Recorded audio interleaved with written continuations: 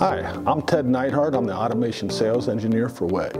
I'm here today to talk to you about WEG's CFW500 Variable Frequency Drive. The CFW500 Variable Frequency Drive is a general purpose drive, great for pump, fan, conveyor, small machine, and OEM applications.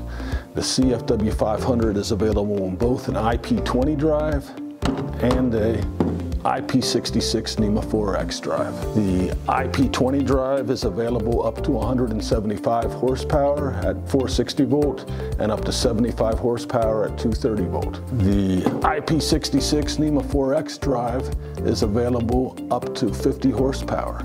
Uh, the drive is available with or without a disconnect switch.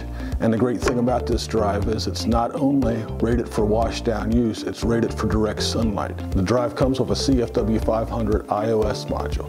The IOS module offers four digital inputs, one analog input, one analog output, a relay output, and a transistor output.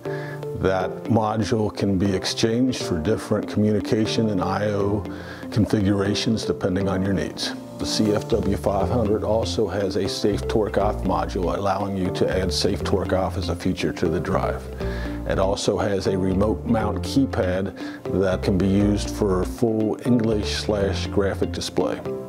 All our CFW 500 drives and all of WEG's drives in general come with conformally coated circuit boards, so you don't have to worry about uh, the circuit boards degrading in a corrosive environment. The CFW 500 and all our drives also have what we call a soft PLC built into them.